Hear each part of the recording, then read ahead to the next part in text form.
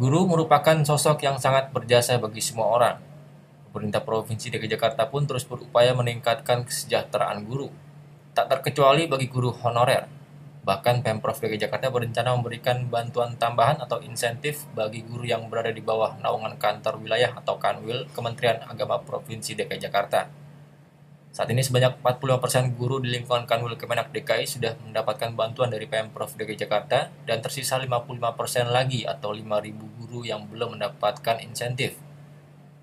Wakil Gubernur DKI Jakarta Jarod Saiful Hidayat mengatakan, nantinya jika sudah ada usulan yang diberikan, maka baru akan dilakukan penghitungan untuk diberikannya bantuan tambahan pendapatan bagi guru Taman Pendidikan Al-Quran atau TPQ. Sebagai upaya memberikan kemudahan dan bentuk transparansi, bantuan tersebut akan diberikan melalui Bank DKI.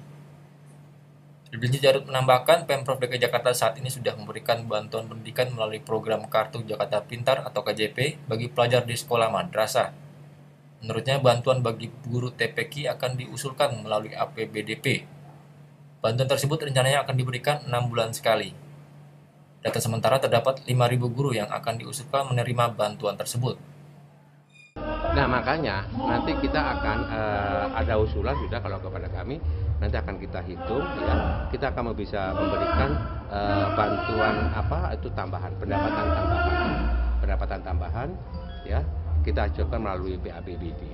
Dan kalau sudah ada uh, bantuan tambahan pendapatan dari kami, tentunya mereka akan melalui Bank DKI. Dan gitu kan, dia mendapatkan uh, kartu Bank DKI ya dan kartu itu nanti bisa digunakan untuk naik busway ya dengan gratis.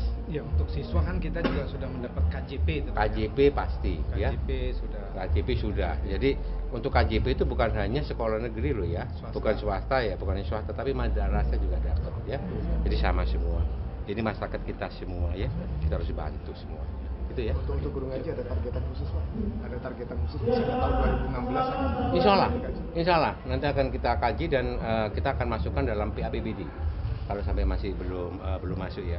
Uh, akan diberikan misalkan enam bulan sekali Pak kata ya. enam bulan sekali. Uh, bukan gaji ya tapi penghasilan tambahan ya. Ya penghasilan tambahan ini kan kita itu karena kita itu karena jumlahnya cukup besar ternyata. Mungkin ada lima ribuan gitu pak? Iya lima ribuan. Ada lima ribuan ya. Terdata guru TPK namanya ya. Uh, Taman Pendidikan Quran ya. jadi kita bisa lihat itu. Dan dengan cara seperti itu kita punya database juga pada mereka itu ya. Ya baik ini terus dan dia akan mengajar di mana ya. Di mana kita tahu semua. Ini keuntungan kita ya. Realisasinya pak? Hmm? realisasinya nanti Nah makanya uh, uh, saya tanya beliau apa sudah diajukan ke kita belum? Uh, kalau sudah nanti akan kita bahas di dalam kita masukkan dalam PHBB. Kita 2016 Insya Allah, ya. ya. Dari Jakarta, tim berita Jakarta melaporkan.